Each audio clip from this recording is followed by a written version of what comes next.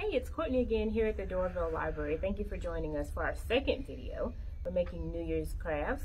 So for this video, we're going to be making a confetti popper.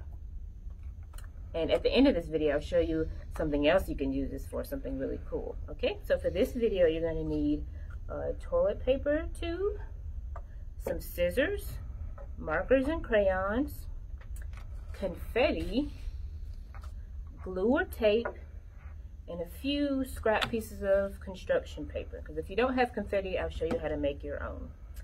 So for the first thing that you're going to do, oh, also you're going to need some tape. I'm using duct tape, a colorful duct tape. You can use regular tape. You can use any color you want, whatever suits you. So what I'm going to do first is decorate the outside of my toilet tissue tube. So you can use your markers and crayons to color this.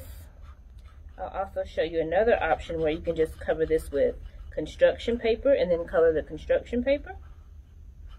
I'm just gonna put in some shapes on here. I think I'm also going to, I think I'm gonna write 2021 on this since we're celebrating the new year. Okay. You can also put stickers on there if you want, glitter, heart's desire.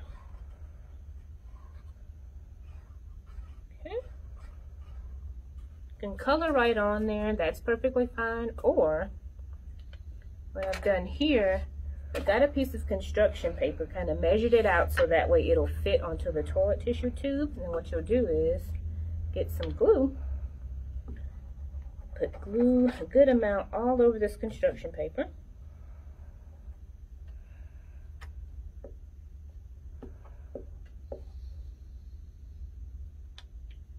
And you're going to take your tube, lay it down, and you're just going to roll it.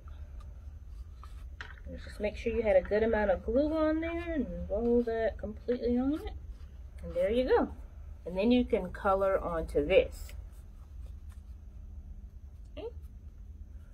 Not sure if I said in the beginning, but you also need a balloon. So what we're going to do, we're going to take our scissors and our balloon. We're going to take the large side and we're going to cut a small portion off. Okay, cut off this piece, and what we're left with is this. This is what is going to help you launch your confetti. So what we want to do now is pull our other end and we're going to tie a knot.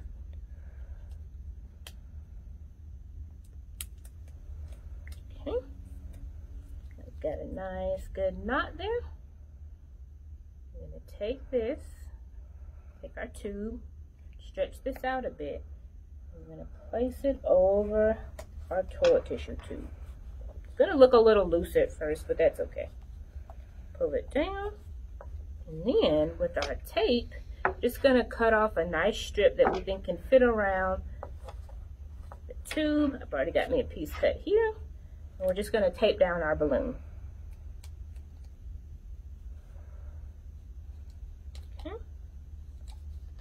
Tape that all the way around.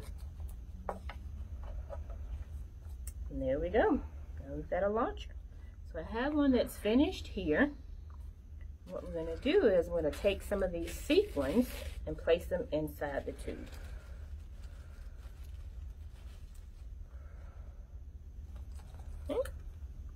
Now, if you don't have sequins, I'm going to show you how to make your own confetti.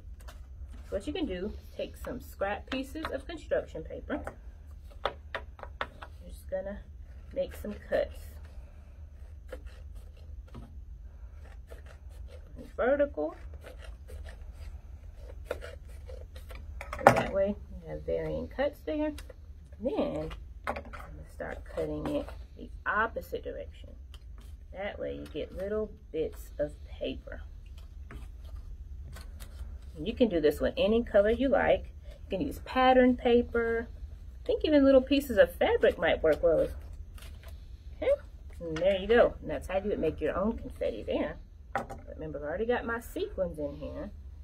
And then, once it's midnight, what you can do is, whoa, you've got your own confetti popper. Now, You can keep this, and I'm also going to show you.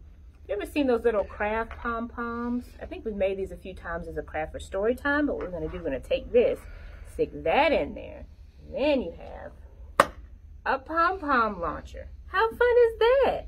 That's our second craft for today. Now, if you join us for our next video, we're going to be making a noise maker. See you for our next video.